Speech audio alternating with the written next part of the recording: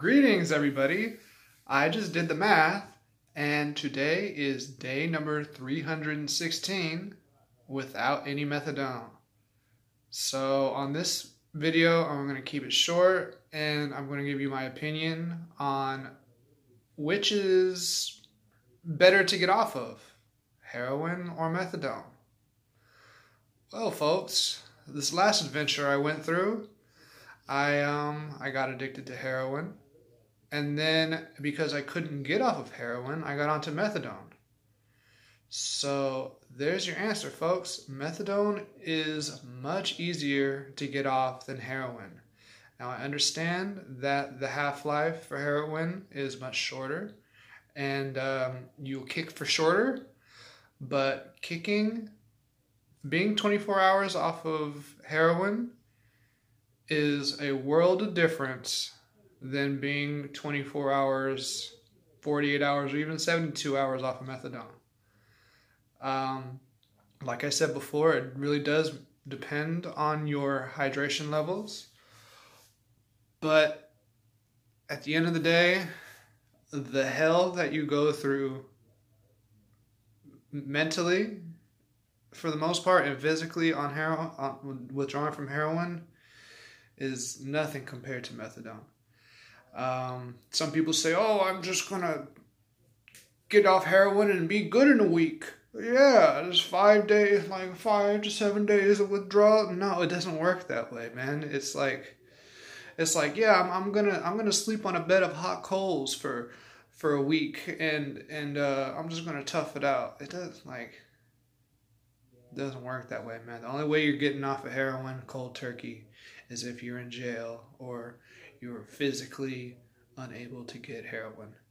Like, if you're in jail, if you're on vacation in some country where they'll murder you for having drugs, like Thailand or Indonesia or some shit.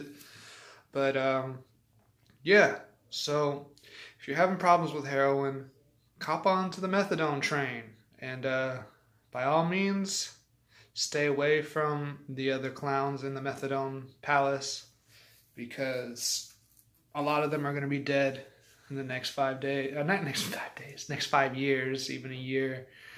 Um, it's just a it's just a realm for really really hardcore drug addicts, in my opinion, and and uh, some of them, some of the people in the methadone clinic are actually regular folks that have serious pain problems and and uh, yeah, but I would say 80 90% of them are heroin addicts that are still seeking out heroin, still seeking out oxys, shoplifting, fucking ripping, robbing, rip just whatever you can think of. Like you could you could join a methadone you could join a methadone spot and get involved in some serious shit that will have your ass in jail in no time. So just be careful of that. But um, as somebody that has many years of experience, I would say to hop on the methadone train if if heroin is awful. And uh,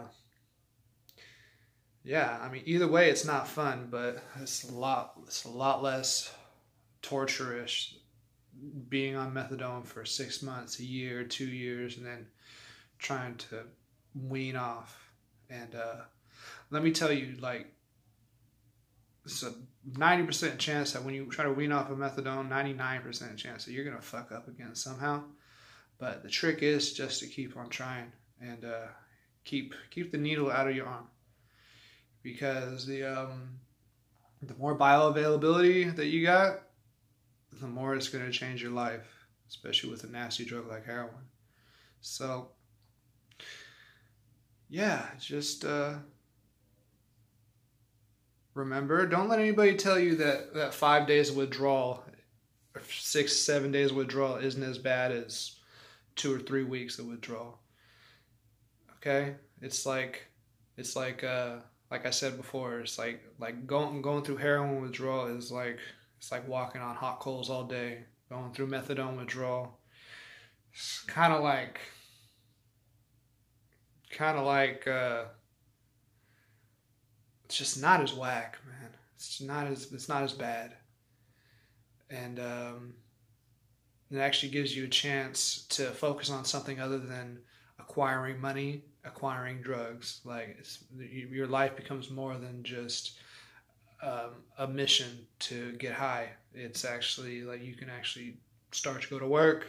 Like they have a real job. You could um, maybe hold down a place to live consistently. Um, you may you may like get some of your relationships back that you that you destroyed. I mean, not guaranteed. I don't know how big of a scumbag you were, but uh, yeah, sky's the limit on how big of a scumbag you can become.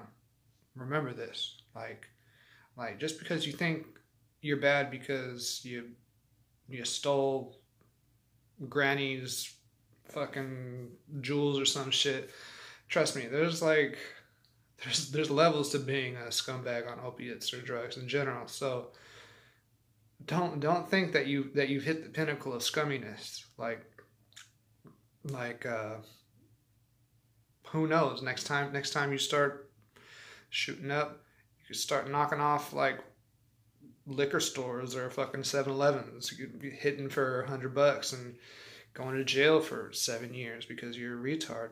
You know, like like the levels of scumminess gets gets worse and worse as you get older, especially when you're dealing with with drugs and people that need drugs. So, um, more of the story. Uh, just uh, drink water, smoke a lot of weed. All right.